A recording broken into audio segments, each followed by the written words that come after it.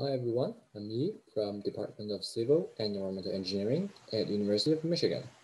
Today I'm going to give a brief tutorial on using the sequentially working origami multiphysics simulator.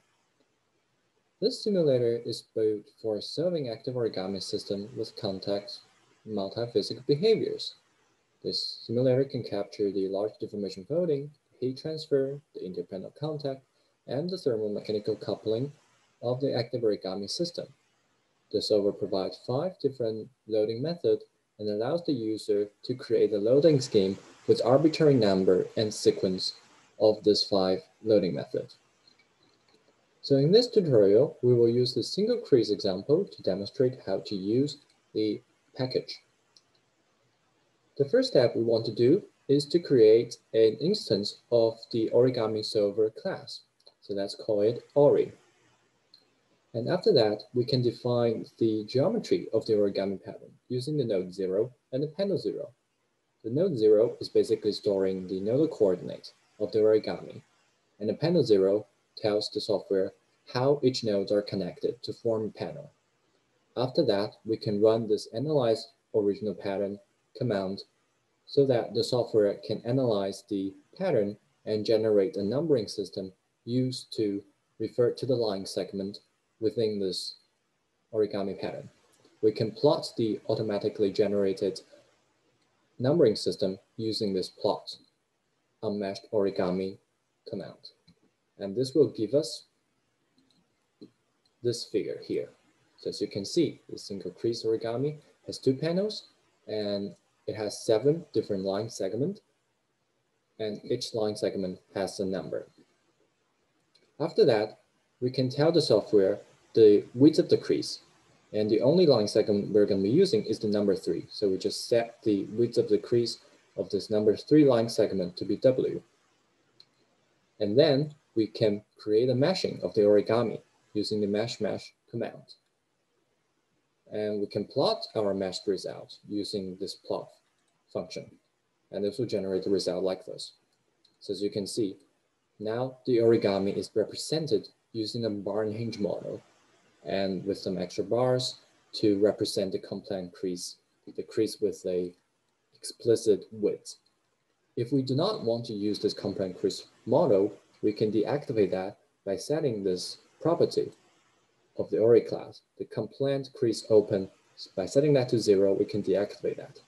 And this will give us this result.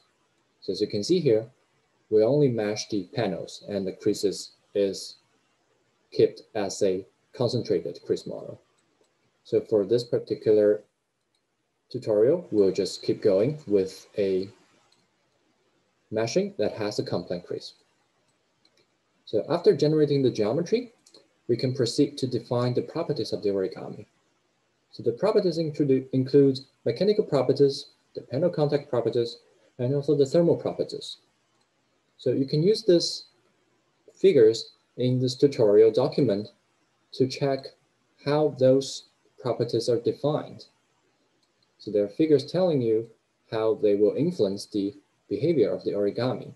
You are also welcome to check the original paper to see the derivation of these models. After setting up all the properties of the origami, we can proceed to set up the loading of this origami system. In this tutorial, let's suppose that we want to apply three steps of loading onto the origami the first step is a residual stress induced self-folding process. The second step is the gravitational forces. And the final step is the thermal loading, where we actuate the electrothermal actuators to fold the origami. And to do the first step, we create an instance of the controller self-folding class. We prescribe that this number three crease will develop about 10 degrees of residual folding. We set up the support information, the incremental steps, the tolerance for each iteration, and the maximum allowed iteration per increment. And we're done with the first step. So similarly, for the second step, we first create an instance of the Newton-Raphson loading controller called NR. We set up the incremental steps, the tolerance, the maximum allowed iterations, the support information, and finally the load we want to apply onto the system. And we're done for the second step. And then finally, we create an instance of the thermal loading controller called the thermal. We do similar things. We set up the total number of steps, the tolerance, the support information, and we define our actuator using the properties of the actuators.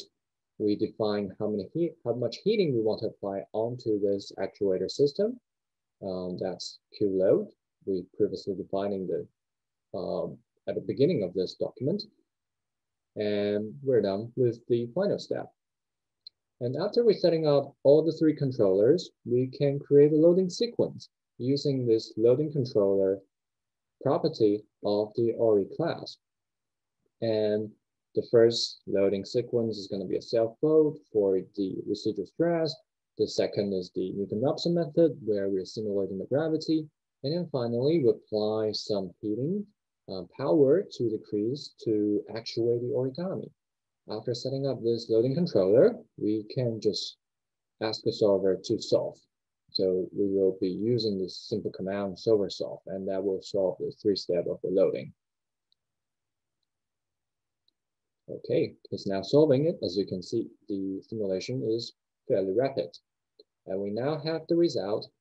So the first figure is the first step of the loading, where we have the residual stress induced self-folding. They develop about 10 degrees of folding angle. And the second step is where we apply the gravitational forces onto the system. This will push the panel downwards. And then finally, we apply some heating power to the crease. And this will elevate the temperature of the crease. As you can see, they develop about 150 degrees centigrade um, temperature. And this will fold the um, origami to this final geometry. So this is the end of this brief tutorial. I hope you enjoy and thank you very much.